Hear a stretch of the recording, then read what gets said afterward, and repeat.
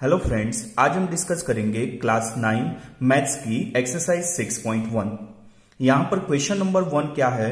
In figure lines A B and C D intersect at O if angle A O C plus angle B O E is equal to 70 degree and angle B O D is equal to 40 degree find angle B O E and reflex angle C O E so so, यहाँ पर हमें इस question में figure दी गई है। यहाँ पर question में क्या लिखा है कि A B and C D intersect at O so यहाँ पर lines A B and C D कहाँ पर इंटरसेक्ट हो रही है?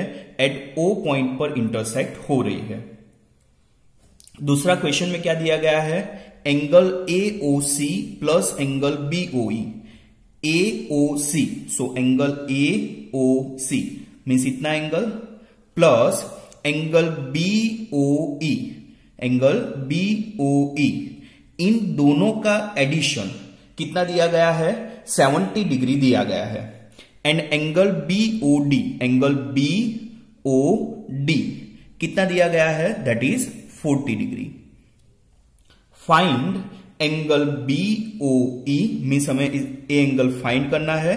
एंड सेकंड सीओई का रिफ्लेक्स एंगल फाइंड करना है।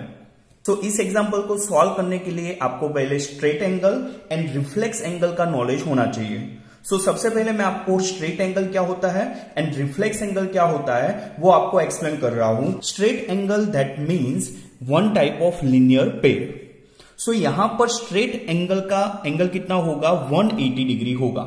For example A B line है। तो ए बी लाइन पर जितनी भी लाइंस और स्टैंड कर रही है, वो सबका एंगल मिलाकर कितना होगा? टोटल 180 डिग्री एंगल होगा। तो इसको हम बोलेंगे स्ट्रेट एंगल तो स्ट्रेट एंगल ऑलवेज कितना होता है? 180 डिग्री कहीं पर भी आपको एक स्ट्रेट लाइन दिख जाए दैट मीन्स उसका एंगल कितना होगा? 180 डिग्री होगा। यहाँ पर ए बी एक स्ट्रेट लाइन है and rays O C and O E उस पर स्ट्रेंड कर रहे हैं। सो so, यहाँ पर जो टोटल एंगल होगा मींस ये जो लाइन एक फॉर्म हो रही है सो so इन तीनों का टोटल एंगल कितना होगा? 180 डिग्री होगा।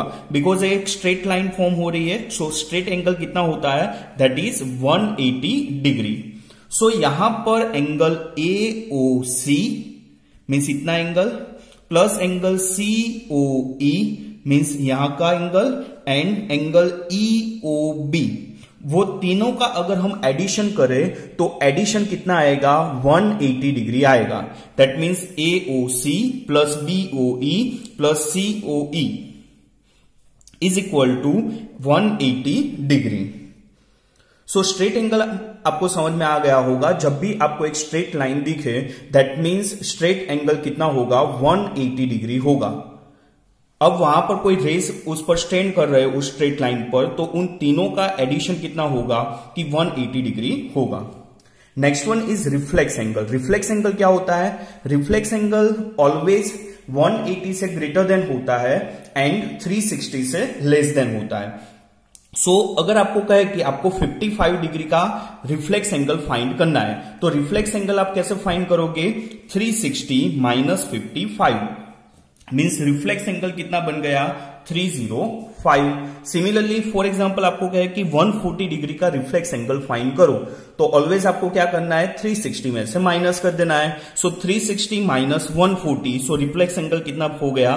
220 degree so question number one को आपको सॉल्व करने के लिए straight angle and reflex angle का नॉलेज होना चाहिए। Straight angle that means angle that is 180 degree and reflex angle that is always more than 180 degree and less than 360 degree means आपको किसी एंगल का रिफ्लेक्स एंगल फाइंड करना हो तो 360 में से माइनस करना है। सो so, अब हम स्टार्ट करेंगे question number one so data already आपको समझ में आ गया होगा। हमें फाइंड क्या करना था? बीओई एंगल फाइंड करना है एंड रिफ्लेक्स एंगल सीओई का रिफ्लेक्स फाइंड करना है। सो so, यहाँ पर सबसे पहला हमारा टारगेट क्या होगा कि हम सीओई को फाइंड कर देंगे। और उसके बाद उसका रिफ्लेक्स फाइंड करेंगे means 360 minus angle COE so इस टाइप के न्यूमेरिकल में आपको सबसे पहले क्या दिखना चाहिए कि स्ट्रेट लाइन कहाँ पर है? तो ए बी एक स्ट्रेट लाइन है सी डी एक स्ट्रेट लाइन है। A B is a straight line वहाँ से स्टार्ट करूँगा। क्योंकि मुझे यहाँ पर दो एंगल पता है कि इन दोनों का एडिशन कितना दिया गया है 70 डिग्री सो so, एक ही एंगल अननोन रहेगा। सो so, यहाँ पर हम स्टार्ट करते हैं। A B is a straight line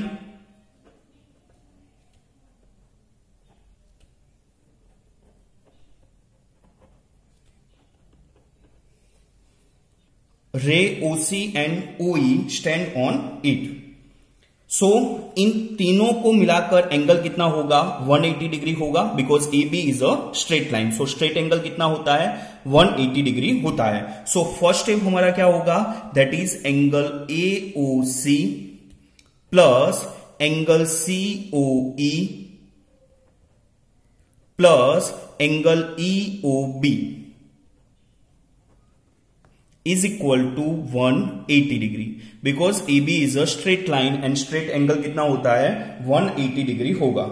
यहाँ पर एक डेटा गिवन है न्यूमेरिकल के अंदर angle AOC plus BOE is equal to 70 degree so angle AOC plus angle BOE लिखो या तो ईओबी e लिखो दोनों का मीनिंग सेम ही होगा। दोनों का मीनिंग क्या होगा? सेम होगा। एंगल ईओबी e लिखो या बीओई e लिखो। सो so, यहाँ पर मैं सिंपली लिख देता हूँ एओसी प्लस इस एंगल को मैं आगे लिख देता हूँ बीओई वहाँ पर ब्रेकेट बना दूँगा। Plus angle COE is equal to 180 degree अब नेक्स्ट स्टेप में मुझे इसकी वैल्यू पता है। AOC plus BOE is equal to कितना दिया गया है? That is 70 degree so AOC plus BOE की जगह पर मैं सिंपली क्या लिख दूँगा? 70 degree plus angle COE as it is is equal to 180 degree अब 70 इक्वल टू के साइड जाएगा तो? Minus so angle COE is equal to 180 degree minus 70 so 180 eighty minus seventy कितना होगा? दैट इज़ 110 सो so, हमें angle COE e कितना मिल गया? 110 अब मुझे एंगल सीओई e मिला 110 तो मुझे फाइंड क्या करना था? रिफ्लेक्स एंगल सीओई सो आपको पता है कि रिफ्लेक्स एंगल हम कैसे फाइंड करेंगे? 360 में से 110 क्या कर देंगे? माइनस कर देंगे। सो so, मुझे रिफ्लेक्स एंगल सीओई मिल जाएगा। So reflex angle COE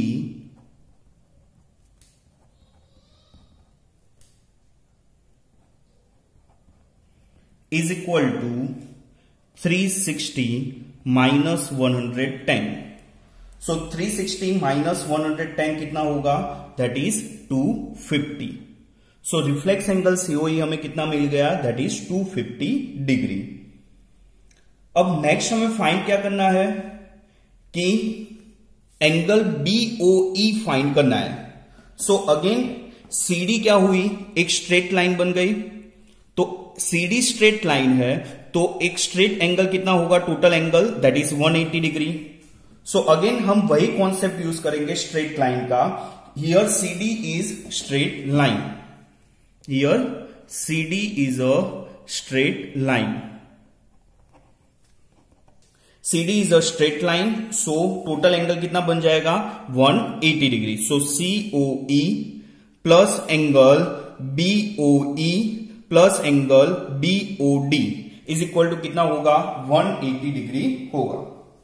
So next step is angle COE plus angle BOE plus angle BOD is equal to क्या बनेगा? 180 डिग्री सो सीओई हमें पता है एंगल कितना होगा? 110 सो so, सीओई की जगह पर हम सिंपली क्या लिख देंगे? 110 प्लस बीओई एंगल हमें फाइंड करना है. So angle BOE as it is and BOD angle हमें कितना दिया गया है? दैट इज़ 40 डिग्री वो क्वेश्चन में दिया गया है कि एंगल बीओडी कितना दिया गया है? 40 डिग्री सो ए एंगल है 40 degree is equal to 180 degree so next step क्या होगा? 110 plus 40 that is 150 plus angle BOE is equal to 180 degree so angle B BOE हमें कितना मिलेगा? That is 180 degree minus 150 so angle B BOE is equal to 30 degree so a angle हमें कितना मिलेगा? 30 degree again मैं एक बार example repeat कर देता हूँ। ए भी एक स्ट्रेट लाइन थी। सो हमने क्या किया कि इन, इन तीनों का एडिशन कितना होगा? 180 डिग्री। सो इन दोनों का एडिशन दिया गया था। सो सीओई हमें कितना मिल गया? 110 डिग्री। अब उसका रिफ्लेक्स एंगल फाइन करना था। रिफ्लेक्स एंगल दैट मीन्स हम क्या करेंगे? 360 में से माइनस कर देंगे। So 360 sixty minus one so 250 similarly हमें एंगल फाइन करना था बीओई अगेन सीडी एक स्ट्रेट लाइन थी सो so वहाँ पर भी तीनों का एडिशन कितना होगा? 180 डिग्री हमें सीओई uh, पता था 110 एंड बीओडी हमारे क्वेश्चन में दिया गया था 40 डिग्री सो हम easily EO B angle find कर सकते हैं दैट इज़ 30 डिग्री एंगल को आप दोनों मेथड से बोल सकते हो। बीओई भी कह सकते हो या ईओ बी भी आप कह सकते हो। क्लियर सो so, इस तरह से न्यूमेरिकल वन आप इजिली सॉल्व कर सकते हो।